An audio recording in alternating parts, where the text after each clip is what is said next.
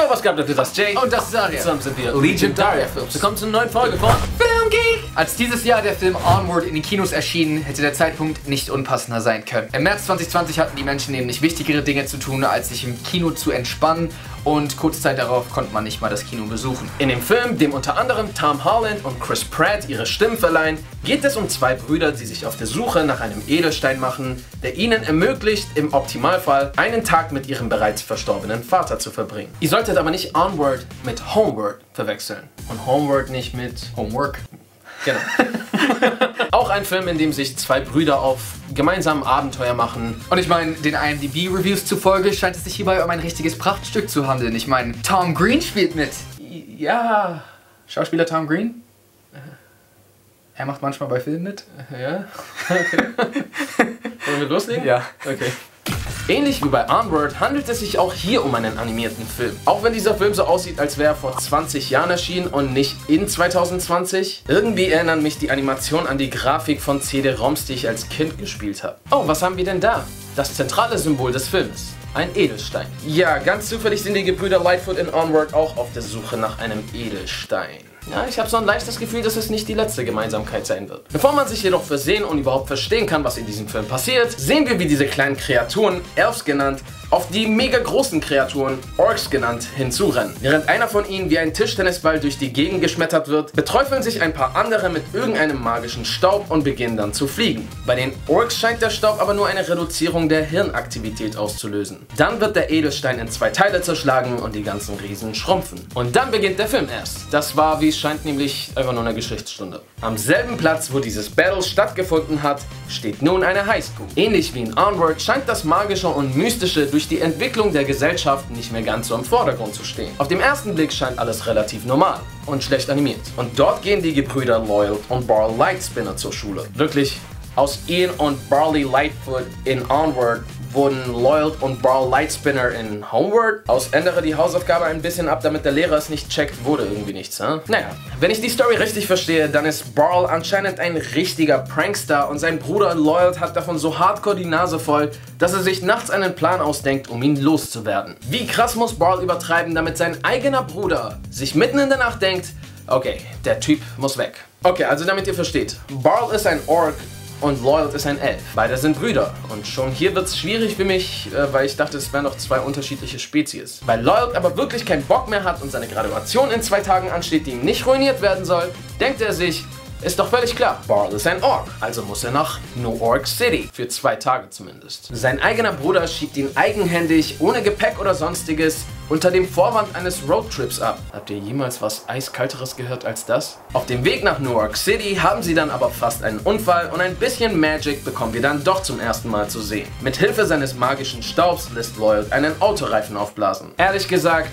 Echt praktisch, wenn ihr mich fragt. Dann machen sie halt und Barl muss unbedingt was mampfen. Und weil er so clever ist, nimmt er den Zauberstab seines Bruders mit ins Lokal und dort wird er ihm dann von anderen Orks geklaut. Ich sehe schon, the mind of a genius. Dann versucht er einen Zauberspruch zu bringen und schafft es irgendwie, seine Geldbörse aus einem Stück Metall rauszuholen. Sowohl meine Augen als auch mein Gehirn wissen nicht viel mit dieser Szene anzufangen, aber die Orks feiern ihn dafür. Barl dreht dann den Spieß um und haut mit den anderen Orks ab nach New York City mit dem Staub im Gepäck und lässt Bolt hinter sich. Eine herzenserwärmende Brüderschaft führen die beiden da. In New York City chillt Barl dann mit den anderen Orks und die wollen die Chance nutzen und seine Zauberkräfte für sich selbst gebrauchen. Sie wollen nämlich, dass er beide Hälften des Edelsteins zeigt, welcher zu Beginn der Geschichtsstunde zerteilt wurde. Während Borrow mit seinen neuen Freunden anscheinend sämtliche Läden in New York City überfällt, läuft Lloyd durch die Stadt und versucht ihn zu finden. Ob er aber so viel cleverer als sein Bruder ist, darf auch gerne mal in Frage gestellt werden. Excuse me.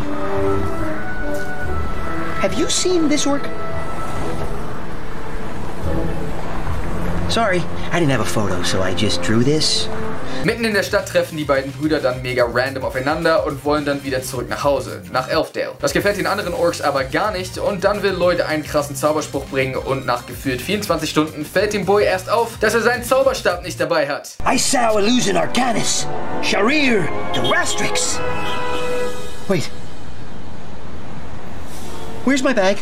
Welcher der beiden Brüder also der Idiot ist, ist wirklich nicht mehr ganz klar. Beide werden dann erstmal gefesselt und Borrell wird gezwungen, den Orks aufzuschreiben, wie er vorhin durchs Metall gefasst hat, damit die Orks die erste Hälfte des Edelsteins stehlen können, der sich in der historischen Statue in Newark City befindet. Und genau das tun sie auch. Der Ork-Anführer wird dann erstmal mega riesig wie zu Beginn des Films und will dann eine Armee bauen, um die andere Hälfte des Steins aus der Statue in Elfdale zu entnehmen. Die Brüder befreien sich, um die anderen Orks aufzuhalten, aber das scheint alles nicht so ganz einfach zu sein, denn der neue Super Ork hat echt viel Power. Und zwar so viel Power, dass er die Orks und sogar Borrell irgendwie zu Zombies oder so macht. Der Super Ork macht sich daraufhin auf den Weg nach Elfdale und hat seine Armee dabei. Aber warte mal, das sind doch maximal 15 andere Orks in normaler Größe. Und damit will er in den Krieg ziehen. Bin ich mal gespannt. Die Brüder und deren Verbündete sind aber schon vorher an der Statue und nehmen den Stein an sich. Mittendrin fällt dann plötzlich Lloyd ein, dass ja in 5 Minuten seine Graduation ist. Und er hält dann einfach mal seine Rede, bis dann der Super Ork mit seiner Armee die Graduation crasht. Achso, und dann hätte ich fast vergessen, der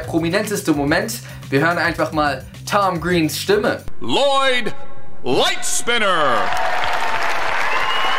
Genau, diesen Moment hätten wir dann jetzt auch durch. Weiter im Text. Also die Orks stürmen jetzt die Graduation, weil das natürlich der Plan war. Okay, zugegeben, der Stein war nicht mehr an der Stelle, wo er eigentlich sein sollte. Daher kann ich voll nachvollziehen, wenn man sagt, hey, wir haben den Stein leider nicht bekommen, aber dann lass wenigstens diese Graduation Feier stürmen spezifisch. Der Plan geht aber auf, weil die Orks dort die zweite Hälfte des Steins bekommen und der Super Ork und seine Armee werden noch größer. Nur komischerweise Borrell nicht, der vorhin auch zu einem Zombie geworden ist, aber aus unerklärlichem Grund ist er diesmal nicht betroffen. Und genau dieser Borrell rettet jetzt den Tag. Weil er hatte ja noch einen Prank installiert. Der führt dazu, dass grüner Schleim auf den Super Ork fließt und Lloyd kann diesen dann mit einem Zauberspruch versteinern. Random irgendwie und vor allem, weil dann der Stein aus der Hand des Super Orks fällt und in tausend Splitter zerspringt. Scheinbar geht dieser uralte magische Stein extrem einfach kaputt. Aber daraufhin verliert der Zauber natürlich seine Wirkung und alle Orks werden wieder normal. Dann werden die Brüder und das Orkmädchen gefeiert und es werden aus ihnen